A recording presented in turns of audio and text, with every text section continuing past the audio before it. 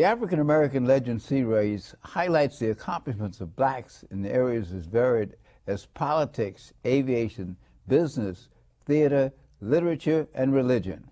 We will explore how African Americans have succeeded in areas where they've been previously excluded because of segregation, racism, and lack of opportunity. I'm your host, Dr. Roscoe C. Brown Jr., and with us today is my friend Woodie King Jr., director of the New Federal Theater. Hi, Woodie. How I'm you glad doing? to be here again. Yeah. Tell you about what we're doing in the state of black theater. That's what we want to talk about. I've got some interesting things we want to talk about about Okay. black theater, but let's start. It's 2006. Mm-hmm. Black theater has a long, storied tradition. Mm-hmm. What's going to happen in 2006 with black theater?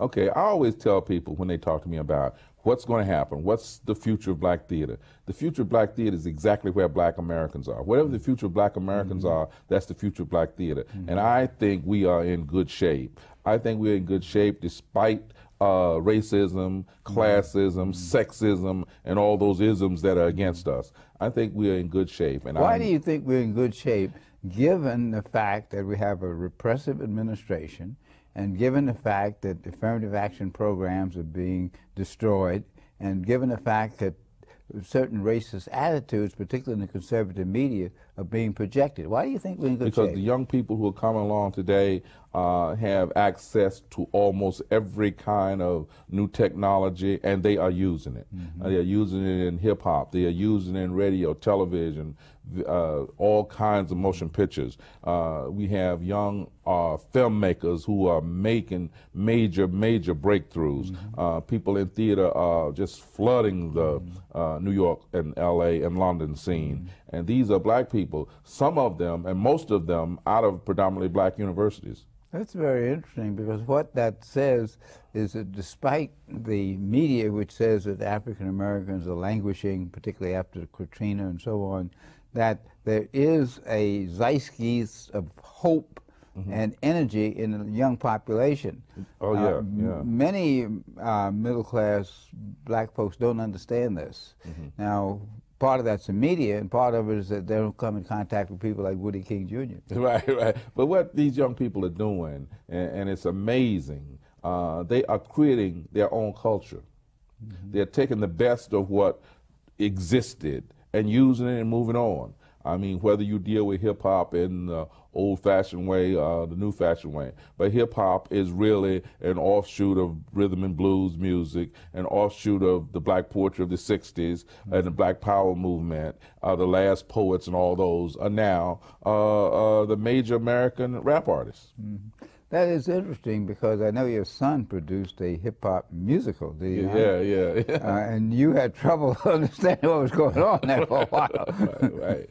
But I, but I finally got it, you know, and but I was able to get a young uh, director choreographer who was just uh, getting ready to turn 25 to direct it and choreograph it. He understood everything. He made it happen. A young brother named Rajendra Maharaj. You know, this mixture of black and Caribbean and Haitian and all those kind of things. You know, so uh, it's a whole new culture. And this new culture is um, um, people by the young people uh, out of these black, uh, predominantly black universities. Yeah, well, what about some of the theater programs, some of the white universities programs that Uh, I don't think don't- too much think- of them. I think they uh, white universities are basically there to perpetuate European and Eurocentric culture. Mm-hmm. And if you go into them, you really got to still come out and uh, uh, acclimate yourself with Black American culture. Mm-hmm. I mean, they have no interest in Richard Wright, Ralph Ellison, Mm-hmm. uh, even August Wilson in a lot of the white universities. They're interested in uh, the traditional uh, Eurocentric uh, Russian literature of the past. As you say, arts, theater, and music reflect what's going on in the culture. Yeah. You gave an excellent explication of what's happening in black culture. Mm-hmm. In white culture, there is some tension about incorporating hip hop. Some of the younger white artists want to do more of this. Mm-hmm. How much has that been influenced by black theater and black music? Well, one of the things that I noticed, whether you deal with Britney Spears, whether you're dealing with a new uh, young white artists, Eminem, uh, they are all uh, really produced by major young black producers. Um, you know, it's like uh, amazing how uh, the sound uh, that they uh, uh, come out with is a mixture of, you know, a little whiteness but a lot of blackness, mm-hmm. and so the I'm telling you, this culture is really changing fast, and it's really predominated by blackness. You know. Well, one of the criticisms hip hop has been given is that some of the music is misogynistic mm-hmm. and some of it emphasizes violence. Mm-hmm. Uh, is that turning around now so that it's going more mainstream? Well, if you look at Russell Simmons, Russell Simmons even turning around. Mm-hmm. You know, um, if you look at uh, P Diddy, he's turning around. You know, uh, it's they are moving more away from that. I think that was to get attention. Uh, even Snoop Dogg now is uh, turning around, you know. But uh, it's more that attention, that uh, gangsterism uh, that predominated the uh, culture early on was really to get attention. Most of those kids who said they were gangsters was Howard University graduates and um, Hampton and Clark Atlanta University graduates. You know? Now, but in a sense, wasn't that playing on the white community's view of black yeah, folks yeah. that we are gangsters, we are thugs, we yeah. don't respect our women. And many people have been trying to move away from that. Mm-hmm. Uh, there's been a lot of criticism of it, of course. How are we now? Is it more in terms of dealing with racial pride and male female relationships and moving ahead? Or is there still some theme of the violence and the the sexism that has been in some of the early hip hop? Well, I think those people who are entering it use that to enter it. Once they get into it, they realize, oh wow, that well, that's not the way it is at all. Mm-hmm. I mean, I got to be able to do what I do well. I got to be well trained in it. I got to be well trained in mm-hmm. doing work in a studio, whether it's in a, a TV studio or a recording studio. Because the bottom line is, how do you deal with those? Uh, uh, engineering feats that uh, had been denied us for so mm-hmm. long. Where a lot of times we had to do scratches, create our stuff from um, the back of, sell our stuff in the back of a car. Mm-hmm. You know, uh, I think what happened is those who people want, those people want to enter into whether it's black theater or uh, black music or rhythm and blues, they think it's a certain way. You know, and I think the white owners of these record companies and studios lead us to believe it's that way. And then we get in there, these young people are well educated. They, it don't take them long to say, oh, wait a minute, this is not the way it is. This is the way I can get out of this thing and get my mama a house, my daddy a house, and, you know what I mean, uh, pay my uh, girlfriends uh, uh, some jewelry or something, you know. But, but after a while, once they get into that, uh, uh, Roscoe, it evaporates within two or three years. Agreed, but what does that say about a society that black folks have to act a fool? It used to be the minstrels mm-hmm. mm-hmm. have to act a fool and uh, cater to the stereotypes of whites. What does that say about us as a people that we have to do this? What does it say about society that causes us to do this? Well, I think that society, whether it's black theater, uh, hip hop, etc., those few people who make it who do very well. Those few black people um, give an image of this ebony image of jet image of white people are all around them, mm-hmm. and uh, very few of these young people can get to them. They have to go through white people to get to them. So they say, wait a minute, mm-hmm. I'm going to make it on my own. I'm going. I mean, these people are not going to help me because mm-hmm. I can't get to them for them to help me. You know what I mean? So uh, by you know, as Malcolm said, by whatever means necessary, um, these young people try to uh, attain a certain kind of uh, freedom ex- of expression, uh, freedom of uh, economic freedom, uh, most of all economic freedom, mm-hmm. because and get, garnering those richnesses uh, that they see our so-called leaders with. You know what I mean? But see, Woodie King Jr. and the New Federal Theater have been doing this for years, mm-hmm. making opportunities for young African Americans and not so young African Americans who want to express themselves through the mode of theater. Mm-hmm. Uh, you've been able to survive. Mm-hmm. What has been your the the uh, uh, this, the particular message that you've been able to send that attracts people to New Federal Theater and allows it to survive? Well, I think New Federal Theater is uh, has survived because it is a pass through. Uh, I'm uh, and we have been able to look at young writers who have early plays that wow, if black people see this, they will appreciate you.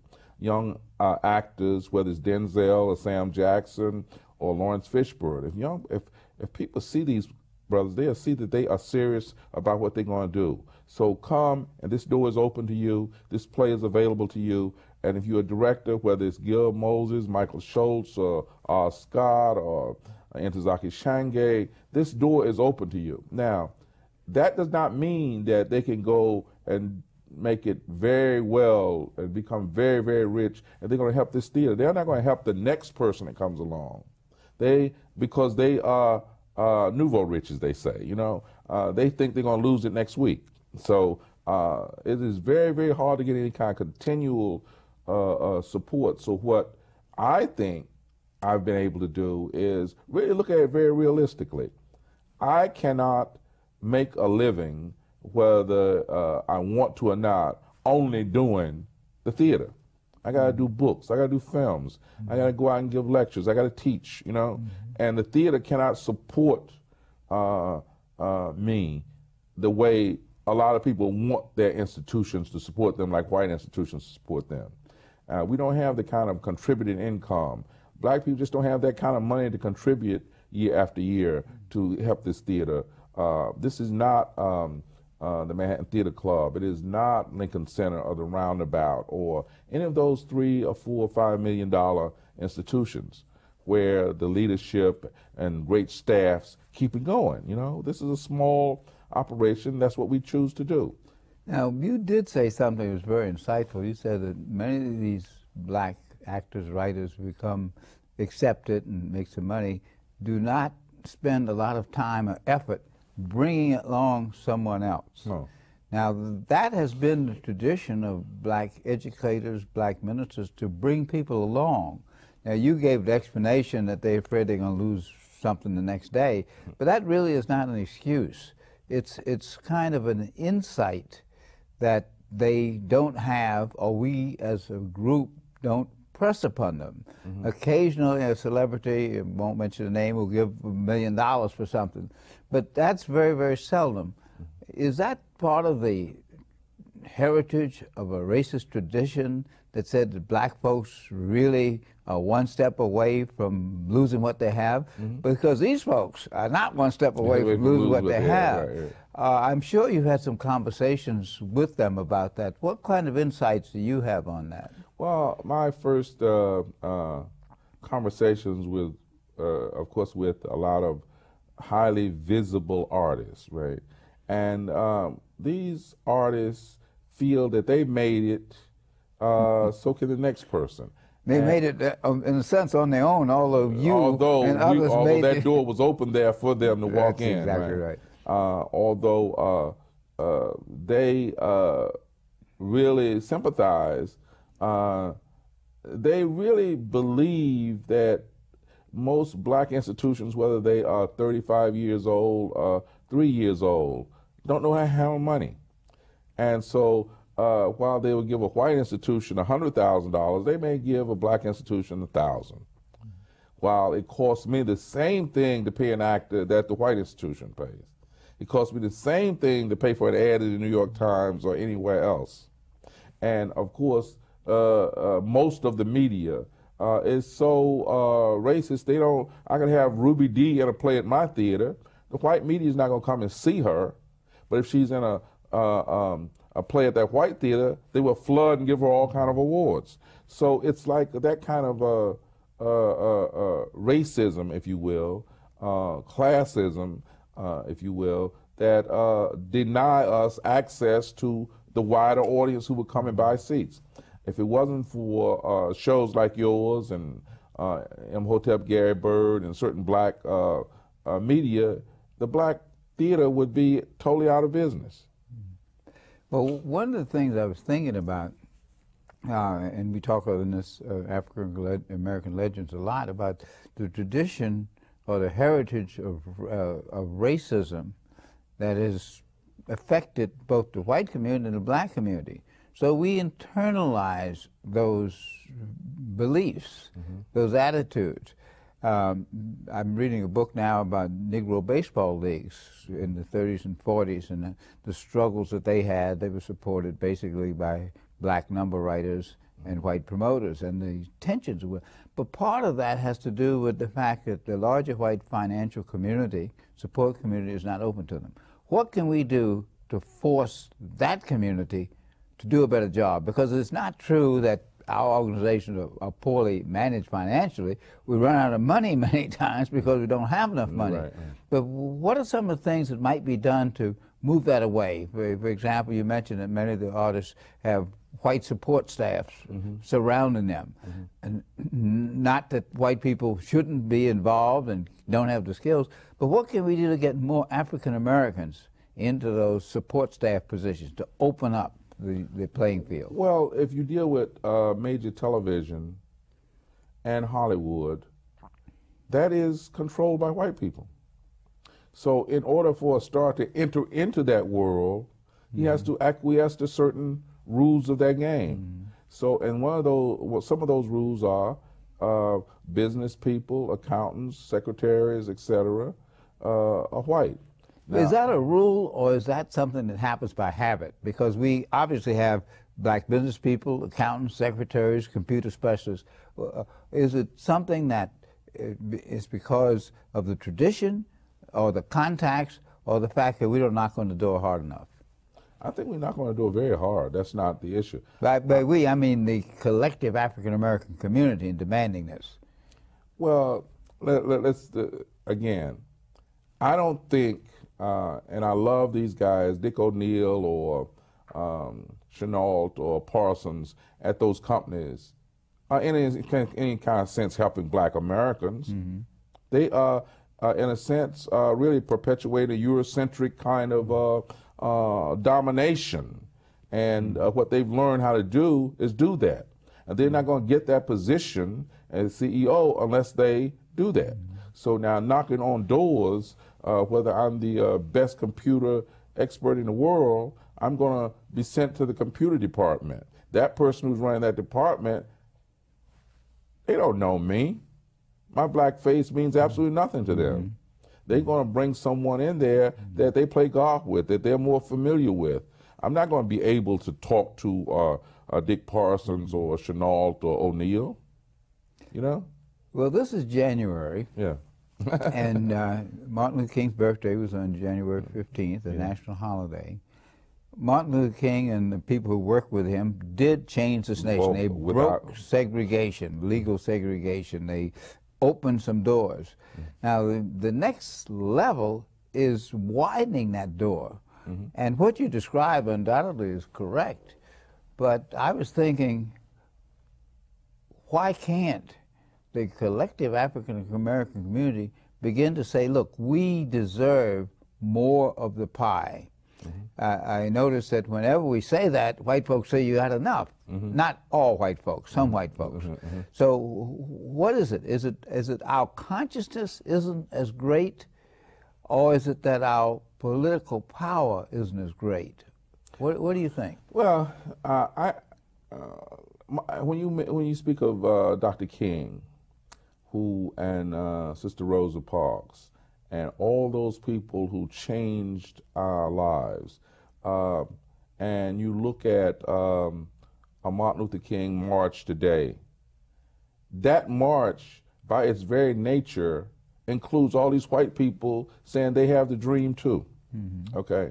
Now, once that march is over, they go back to their respective community. They go back to their respective jobs, and it might be one black people work, black person working there. Mm-hmm. It's not.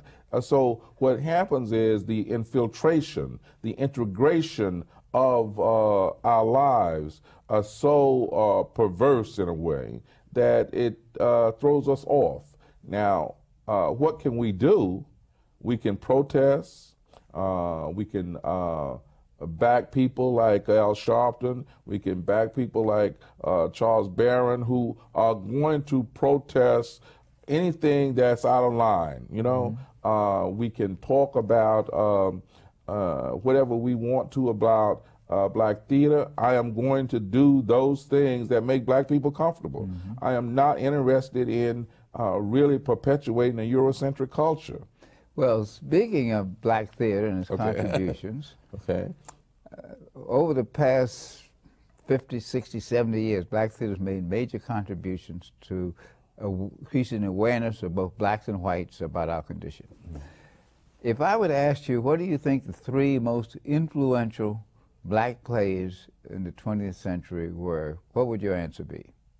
Oh, God. I, first, I would say um, uh, Lorraine Hansberry with her breakthrough play, uh, A Raisin in the Sun. Yeah, it's like the Jackie Robinson of theater. Right, right, right. And I would have to say the play I produced for colored girls who considered mm-hmm. uh, suicide when mm-hmm. the rainbow is enough by Ntozake Shange. Mm-hmm. Uh, and I would have to say uh, a breakthrough play was Dutchman by Amiri Baraka, mm-hmm. and that would stand alongside uh, Joe Turner's Come and Gone mm-hmm. uh, by August Wilson, mm-hmm. and Ed Bullins is uh, In New England Winter and In the Wine Time. Those are major, major American works by uh, black American writers. Mm-hmm. Ironically, two are by women and the rest are by men, you know.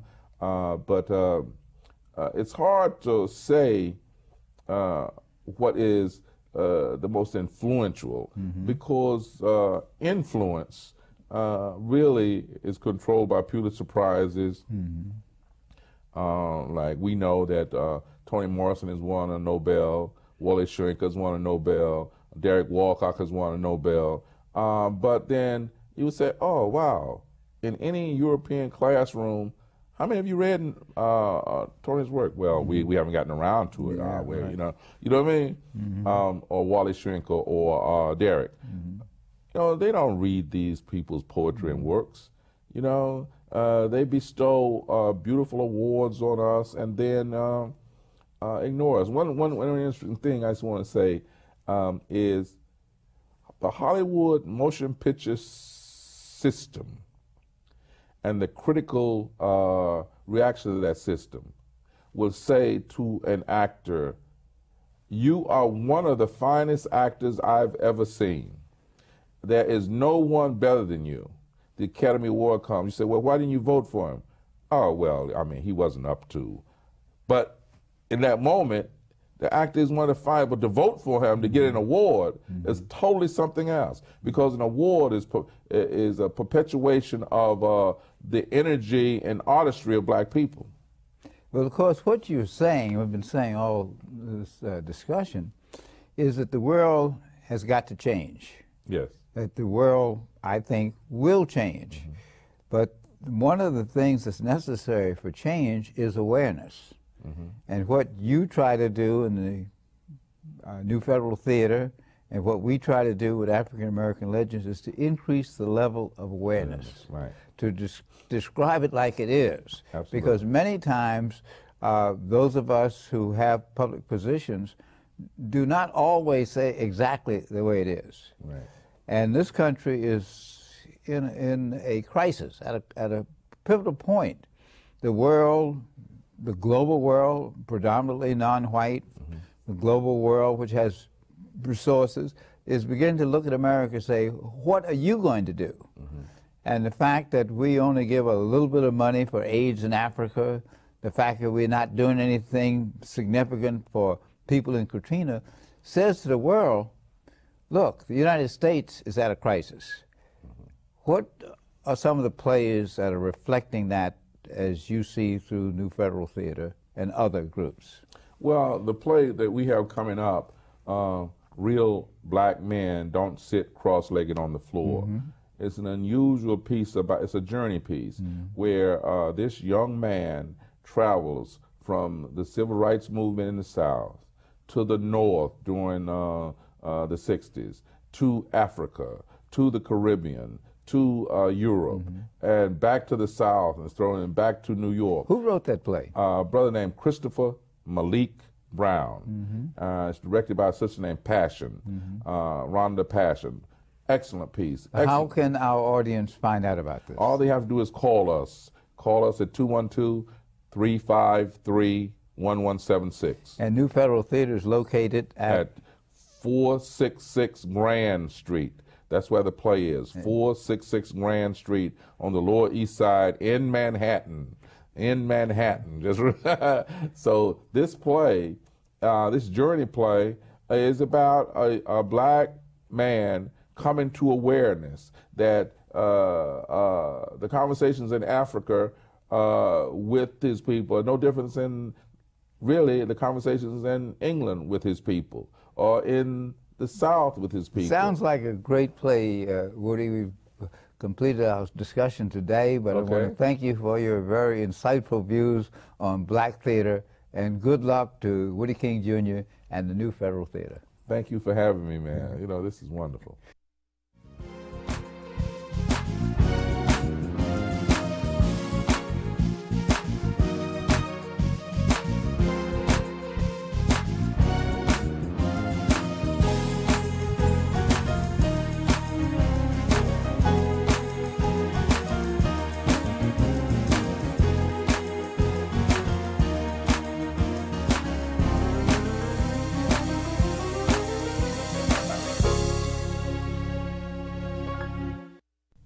New Federal Theater's longevity is an achievement in and of itself. The missions of the New Federal Theater are to present outstanding new plays by black, Asian, Hispanic, and Jewish playwrights. Come join us as we honor Woodie King Jr. and New Federal Theater's 35 years of spirited theater and pioneering art. Sunday, February 13th, 3 p.m. Town Hall, 123 West 43rd Street. Call now, 212-838-2660. 212-838-2660.